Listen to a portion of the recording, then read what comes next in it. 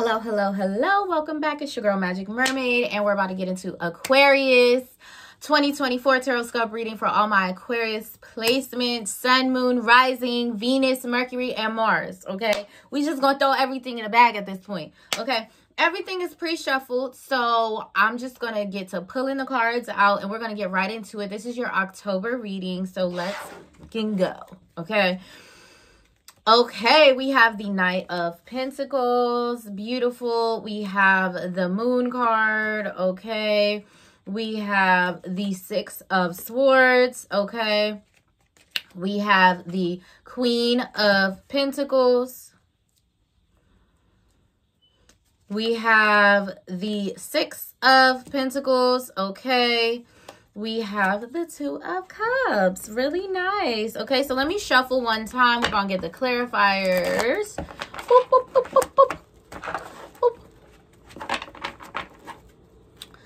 i'm like hey what's up hello?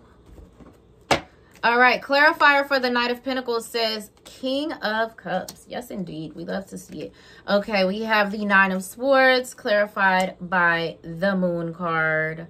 Okay then we have the Temperance card, clarifying the Six of Swords. And we have the Queen of Wands, clarifying the Queen of Pentacles. We have the World card, clarifying the Six of Pentacles. And we have the Two of Wands, clarifying the Two of Cups. Let's get these finals. We have True Love. Come to me. I already knew what was going on. Organization and safe home. Exactly. Yes, Lord. Okay. We have awakening. We have the crumbling. Okay, it's getting really hectic. Transformation. Beautiful energy. Aquarius um looking like a very blessed month okay? So first off we have the knight of pentacles and it's clarified by the king of cups. So the knight of pentacles is usually about long-term commitment. So this could be relationships your job your friend group. This could be um your family okay? And it's clarified by the king of cups which for me is my husband card my that's my my man, my man, my man. That's that's that card. But also it represents Cancer, Scorpio, Pisces, man, okay? So this could just be representing um you deciding if if you're a masculine, you could be deciding your long-term path of like who you're going to be with, okay? Um and then of who you're going to be with, okay? I'm sorry, I was having like a quick brain fart. But of who you want to be with. Um, but if you're a feminine, then this could be talking about the man that you are interested in for the long term. So this could be Cancer, Scorpio, Pisces man, or because we have the Knight of Pentacles here, this could be a Virgo, Taurus, or a Capricorn man, okay? Um, but this is just talking about long-term commitments and having that um, emotional intelligence to understand and know what place and position that you need to be in. So, coming into the month of October, you're really getting into position. You're saying, Look, this is what I want to commit to for the long term. And you feel very grounded in your energy and your emotions and in your approach in that matter, Aquarius. Okay. So, then we have the moon card, which is clarified by the nine of swords. So, the moon, a lot of the time, is going to represent hidden matters, things that are hidden from us it's also going to represent our fears, our fears that come up to the surface, you know, related to our our traumas and stuff. You know, fear of abandonment, maybe it's um you know, it's all kinds of things. That's just one example.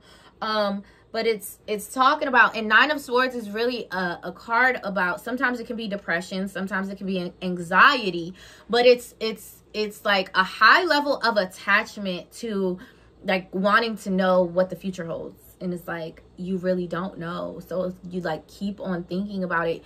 And it's like thinking about everything that could go wrong. And you know that's the moon card because that is our subconscious fears. You know when we fear things we're just fearing what could go wrong. We don't know. It's the unknown you know? So our first thought is always you know, once until we reprogram ourselves, our first thought is going to be what could go wrong when really we need to start reprogramming ourselves to really think like what about everything that could go right, okay? So, um it's talking about things that are hidden. So maybe you're thinking about what if what if something just comes in and shocks me and and da da da da da da this also aquarius could be something that you are hiding you're hiding something and it's because you're not ready to make the information be known quite yet. So you're just really really really maybe um having anxiety about like oh well what's going to happen when i reveal this and things like that.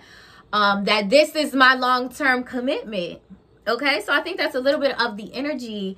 Maybe it's you just really showing the world you know being authentic and saying look i don't care who likes it or who don't like it. This is what i have going on and so I think a little bit of that is getting to you in the beginning of October. Um, but then we have the Six of Swords, which is clarified by the Temperance card. So Six of Swords is all about change and transition. Um, it's really about the transition that you make after a lot of difficult changes and challenges. It's about choosing to move forward out of whatever energy you were previously in that was not serving you. So clarify by the temperance card, which is about balance, moderation, patience, um, and being well tempered. Okay, it's about being patient while you allow things to unfold. You're transitioning forward. It also represents healing. Okay, so it's about like healing that you do inner and then it reflects to the outer, which represents, you know, the duality of it all. Um, if you take a look, they're like meditating in between two wolves. There's a black wolf and a white wolf, you know, um, symbolizing the yin and the yang energy. And then as they're meditating, there are these chakras, and then there's this spark of light, which could represent the enlightenment that you reach. So it seems that whatever confusion you were having, Aquarius, you're moving forward from that. You're moving through those energies. You're being brave. You're being courageous. You're saying, I don't know where I'm going, but I just know that I got to go forward.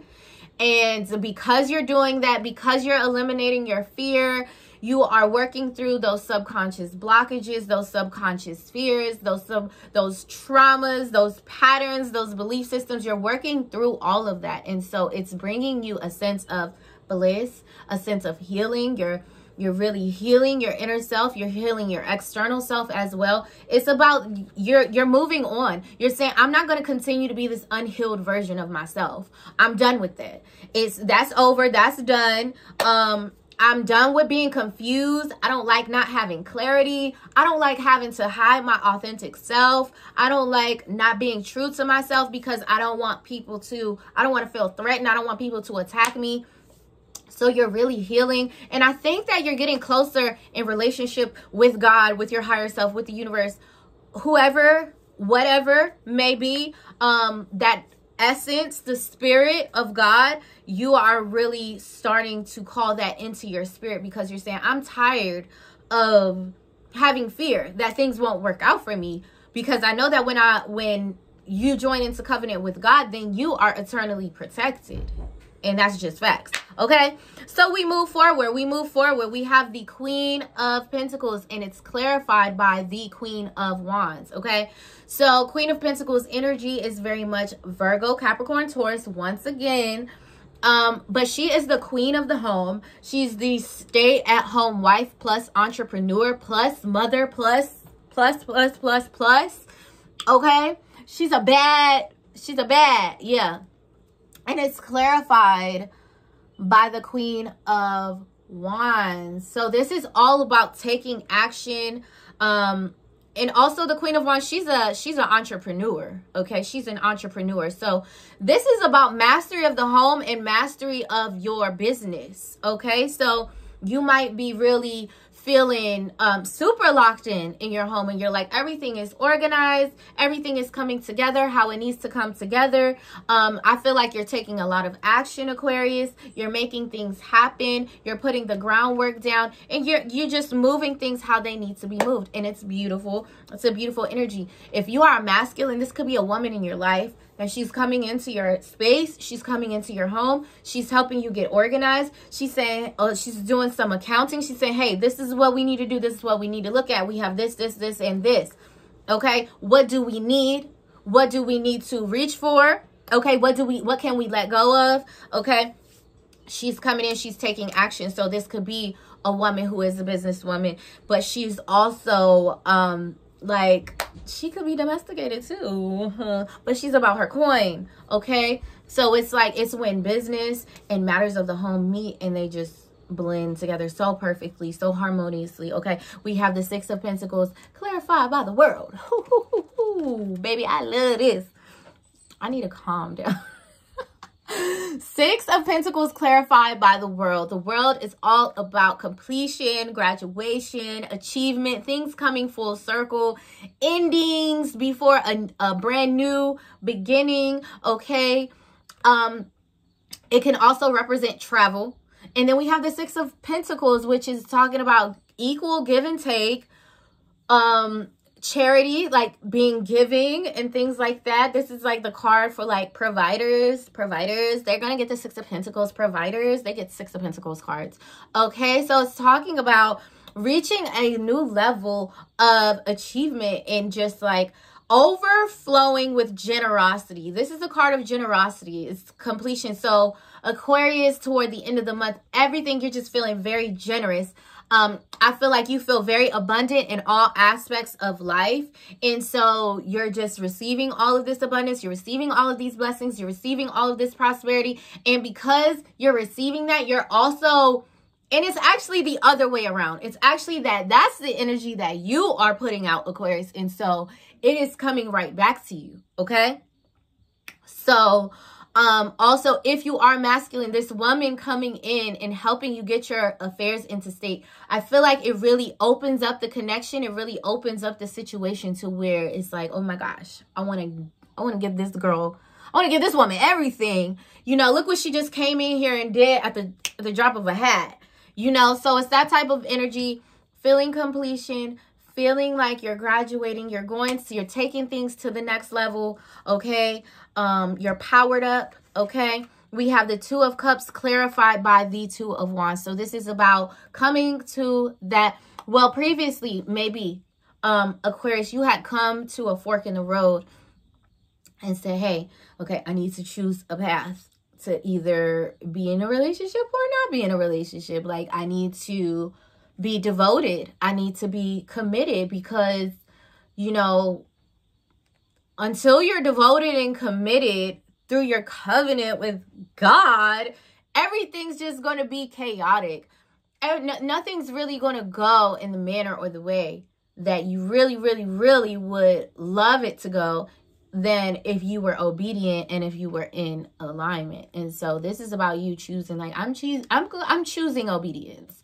I'm choosing alignment.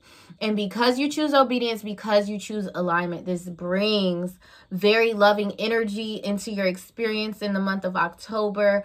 Just like connecting on deeper, intimate, more intimate levels. It's cups. So this is the emotions. like, ooh, ooh, splash into me, babies. what? but yes so it's the start of a new love of new love relationship this could have been someone that you were already acquainted with it's just the relationship is now deepening and becoming more beautiful and becoming more stable and becoming more devoted and becoming more committed. And it's just beautiful okay? So like i said we have true love. Come to me which says true love shall come to me as i do will so mote it be. So it's like you you actually want this aquarius. You want the love. You want to be in union you want to um alchemize together. You want to blend the energies and become one and become gold, okay? So it's like that is actually happening for you in the month of October. Then we have organization, just like we said. So yes, Aquarius women, you are really like getting organized this month. You're helping other people organize their things. You are just really feeling the energy. You're in your vibe, you're in your bag, and you're like, you're not worried about anything besides all this that you have to offer because you have a lot to offer as far as getting things prepared, helping people see their true potential, being a support system that is very valuable, that is very loved, and that provides a nurturing experience to everyone around them to where everyone is just like, wow, this person is very valuable. Um, and I want to just shower this person with um, reciprocity. I want to shower this person with gratitude. Um, and that's the energy you're receiving in the month of October. Love that for you. Safe home. I cast this circle roundabout. Safety now is beyond doubt. Okay, so it's talking about you have found your safe home energy, Aquarius, in the month of October. So probably whatever this situation is, whatever's going on in your home front, whatever's going on at your home, however you're organizing your home, whoever you're nurturing and caring for this month, in October, this is your safe home. This is your safe space. This is where you're meant to be. And it's not even just a location, it's an energy. The energy that you're in. This is the energy that you are meant to hold, okay? To have and to hold until death do us part. Not until death do us part, okay? okay, we have awakening energetic upgrades, a new way of being, integration. So there's a lot of changes occurring within you, Aquarius. You've never been this person before. You've never been like this before. Everything is changing and it, it has a lot to do with that covenant with God. I do feel like you are developing a relationship with God. I do feel like you are tapping into your higher self. I do feel like you're communicating with your ancestors and your spirit guides. I do feel like you're reaching out to the ascended masters when you need help. I do feel like all of those things are happening, and those are all things that you've never done before. And because of that, you're being upgraded. You're having energetic upgrades, okay? You're integrating this new way of being that you're also going to mirror out to other people and influence other people where other people want to do what you're doing. I want to be like Aquarius. Aquarius is not even that type of person. And Aquarius is doing all of this. I never seen Aquarius do this. How could Aquarius just switch it up like that? How could Aquarius just change like that? That is so crazy. I want to be able to do that. Am I capable of doing that? If Aquarius can do it, well, Aquarius can do a lot of things. Can I do what Aquarius does? I don't know, but I'm going to try. That's what it's giving. Give you your tens. Give you your tens. Give you your tens. 10 takeaway two. Yeah, she ate. Okay? Transformation. Things are changing at a cellular level, deep healing. So you are really healing a lot of things, Aquarius. Like whatever dark energies you were feeling inside of that chest, baby, is coming on up. We getting that gunk out. We getting that gunk out. And as I'm doing this, I'm pulling it out with the Reiki. We're going to pull it out with the Reiki. We're going to pull out that dark energy with the Reiki. Any sludge, any gunk, any gooiness, anything, anything that's covering the heart, we're going to pull it out. We're going to pull it out. We're going to pull it out. Okay, so um receive that Reiki. Um Things are changing at a cellular level, which means that you will never be the same ever again after this, Aquarius. After the month of October, you will never be the same because that's how deeply this shift is happening for you at a cellular level, okay? Then we have the crumbling, which says, What are you clinging onto? Which is talking about, so look at this. Don't you know? You know what I always think about? Because I'm a big kid and I have two kids, but on Finding Nemo, when they were trying to get to the um East Australian currents, right?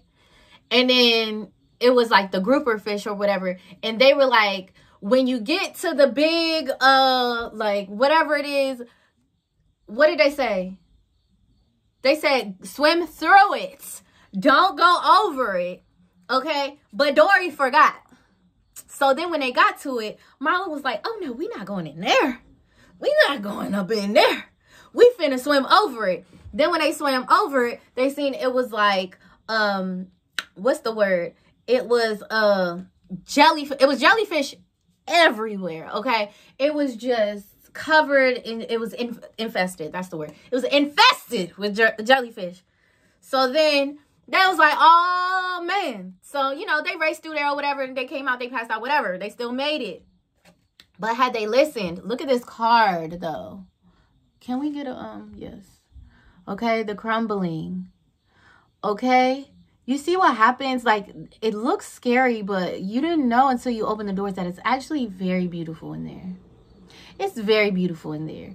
And then there's like this thunder, which will represent air, Gemini, Libra, Aquarius energy, okay? And then it's like this is that universal God energy coming in like a portal.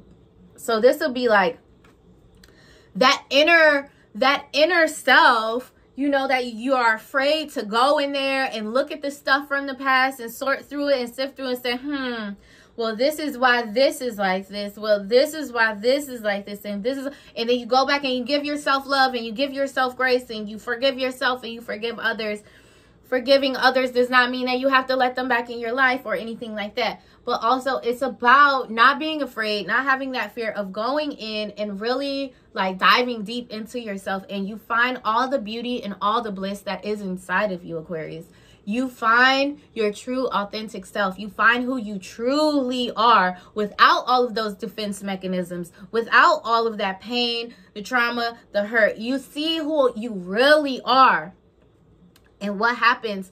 You start to be your real self in the month of October because you're saying, that stuff doesn't serve me. I'm letting it go. I don't need to carry that with me. I'm letting it go. Okay that's your final card aquarius. I really hope that this was a great reading. I think that it was awesome. Please let me know what you guys think down in the comments. Make sure you follow me on instagram at magic mermaid. Make sure you follow me on tiktok at magic mermaid 25 i'm magic mermaid on youtube magic mermaid on facebook. You know what's going on